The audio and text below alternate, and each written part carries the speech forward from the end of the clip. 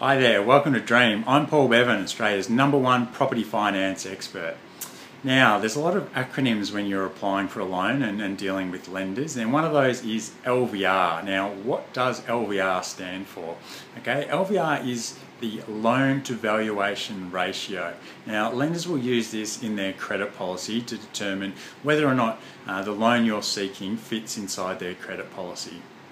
Now, how do we calculate the loan to valuation ratio? Okay, it's simply your loan amount divided by the valuation of your security property. Okay, so if you're an owner occupier, you're looking to, to purchase a house to live in, uh, the amount of funds that you want to borrow, so the loan amount divided by the valuation of your property. Okay, now the valuation of your property more often than not will be organised by the bank with a licensed valuer who will provide a sworn valuation. Okay, so it's not just what you think the property is worth, the bank will do their own valuation through a licensed professional to ascertain the value of that property.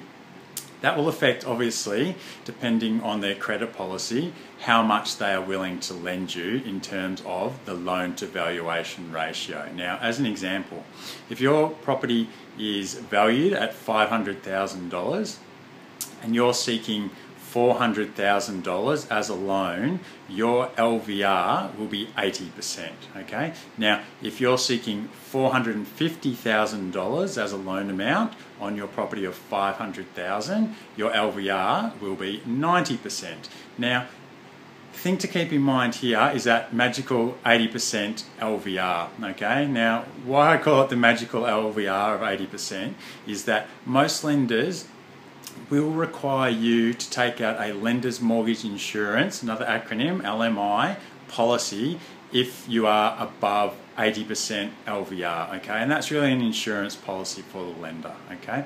Now, the other thing to keep in mind is the total amount you'll be able to borrow. Now, this changes quite often. Um, depending on lending policies. Now, at the moment, if you're looking to, to purchase a owner-occupied property, uh, you can still borrow up to a maximum of a 95% LVR, generally speaking, across the board. Okay, so if, if you've only got uh, you know around that 5% deposit and you want to borrow 95%, that, that's that's the maximum that you're able to borrow. Okay. Uh, depending on the lender as well, the lower the LVR, sometimes the, the better interest rate um, you will receive as well, but it does depend uh, on each individual lender and their, their credit policy and how they price. Okay, so that's it. The LVR, loan to valuation ratio, basically your loan amount divided by the valuation of your security property.